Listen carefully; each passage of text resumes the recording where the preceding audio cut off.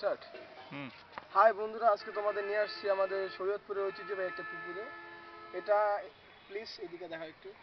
এটা হচ্ছে আমাদের সৈয়দপুর তুলাসী স্কুল।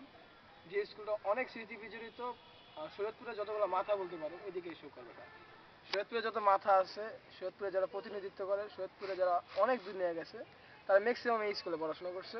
আর এটা হচ্ছে এই স্কুলের পুকুর। আমরা যখন এই জায়গাতে খেলাধুলা করতাম খুব টায়ার্ড থাকতাম এই জায়গাতে প্রচুর পরিমাণ লাফালাফি করছি। এবং এই পুকুরটা এখনও সে আগের মতো আছে, সৌন্দর্যমণ্ডিত। দেখতে পাচ্ছেন পানি কত পরিষ্কার পরিচ্ছন্ন, দেখলেই ভালো লাগে দেখলেই মনে হয় ডুবাইতে যাই। আপনি পৃথিবীর সকল রাষ্ট্রে ঘুরতে পারবেন বাট এরকম জিনিস পাবেন না।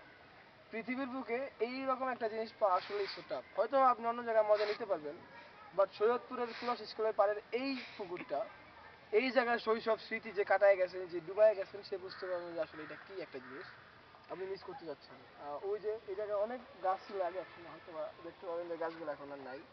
স্মৃতির বিজড়িত কারণে এই গাছগুলো আস্তে আস্তে শেষ হয়ে গেছে বাট একটা সময় হয়তো বা পুকুরটা থাকবে না, কারণ যেই হারে দেখতেছি নগরায়ণ হইতেছে, পুকুরটা ভরাট হয়ে যাবে, তার সময় সীমা শেষ করে ফেলবে বাট হয়তো বা একটা সময় মিস করবে এটাকে খুব বেশি পরিমাণ। আমরা আস্তে আস্তে বড় হয়ে গেছি, আরও পোলাবান পাবে এটার মজা বাট পুকুরটা সবসময় মিস করবে পুকুরে ডুবানো এই পুকুরে নামে ফুটবল খেলা দ্যাটস অ্যামেজিং এই জায়গাতে সুন্দর গাছ দেখতে পারতেছেন। গাছগুলো দেখো, গা কষ্ট করে।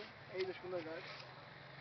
অনেক বড় একটা ব্যাপার। আসলে আপনারা যারা এই ভিডিওটা দেখবেন, সবাইকে আমন্ত্রণ করতেছি এই পুকুরটাতে আসুন একটা মজা করি। আবার পুরাতন সেই শৈশব স্মৃতিতে ফিরে যাই।